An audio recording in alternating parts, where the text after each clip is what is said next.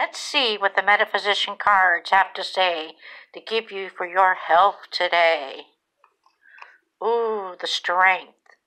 Metaphysician is giving you strength. Strength is going to be coming your way to hide and bring.